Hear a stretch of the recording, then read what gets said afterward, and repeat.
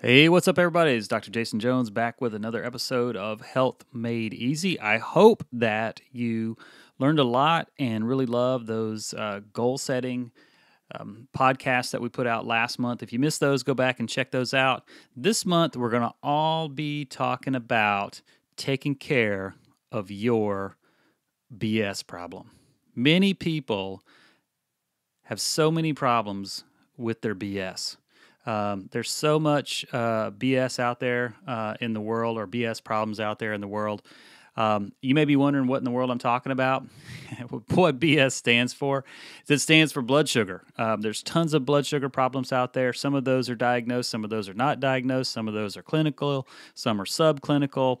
Uh, some people are aware of them, and some people are not. Um, so, we're going to do a quick four part series on things that you can do to help not only with uh, things like sugar cravings and um, and regulating your blood sugar, but they're gonna we're gonna pack a lot of stuff into these next four episodes. We're gonna keep them short and sweet, uh, no pun intended, but just hang in there and um, and we'll we'll get going on. Today. What we're gonna do is we're gonna give you six tips for dealing with sugar cravings. Now, sugar cravings are extremely common in fact, various health experts think that it could be the re- main reason uh, for not sticking to a healthy diet. And I think for some people that's very true.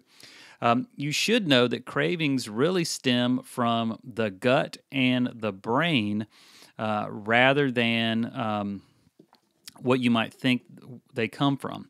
So, when the brain feels the need to get a reward, it seeks out a craving. If you are able to regulate your consumption, um, then you can go ahead and satisfy your craving. However, most of us have a hard time with that because uh, even when we have a small bite, it'll make you binge eat um, when you should try your best to really be fighting the urge. And I know that happens for me.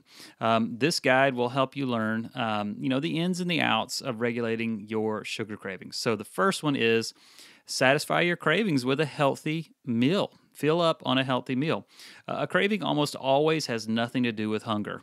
Uh, this means that you could be very satisfied after enjoying a meal and still have some room to consume like your sugary treats.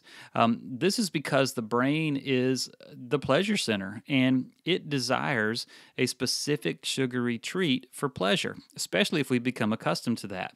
Um, this has to do with uh, the dopamine that's released uh, in the brain uh, that works as our reward system. So, anytime we do anything, I mean, addictions are like this. Um, for some people, it's like a running high.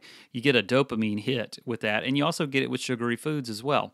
Um, you know, this is why it's very hard to resist the urge.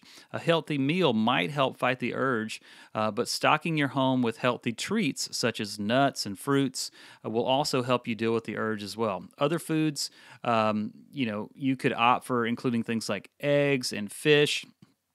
Those are really great because the protein in those uh, help you uh, handle um, those cravings and also could help you lose some weight as well. Uh, the second one is uh, taking a hot shower. Uh, for some people, uh, they've reported they get relief from hot showers when they're experiencing sugar cravings. Uh, the water should be uncomfortable enough to divert your brain's attention from the cravings. Uh, the shower uh, should last between uh, one and 10 minutes. this will give you the feeling, um, you know, kind of like you've been in a sauna, if you will. The third one is going to be taking walks. Uh, if you prefer running, go for it. Uh, this will definitely help uh, create some distance between you and the source of that craving, and it will help your body release uh, endorphin chemicals that will help you fight that urge.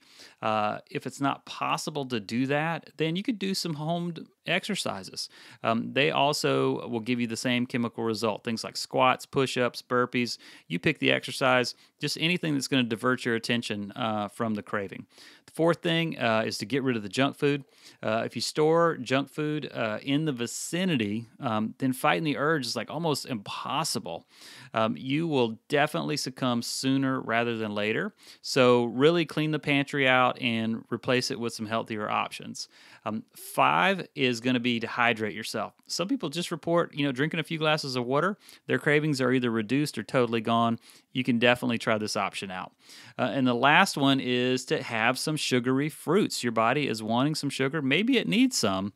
Um, you know, you can include apples, oranges, bananas, even melons, among other things. Um, the sugar, it, you know, from a natural source is going to help to satisfy that urge, um, even when um, you know, and certainly better than a processed food, you know, such as ice cream or something, or a bagel or something like that. So, uh, try these six out. Uh, if you like this podcast episode, uh, definitely go on iTunes, give us a quick review. Uh, really appreciate it. Certainly love you forever for that. Um, we'll see you guys on the very next podcast. Take care and uh, be back for the next episode because uh, we're going to dive deep on on this topic. See you guys later. Bye bye.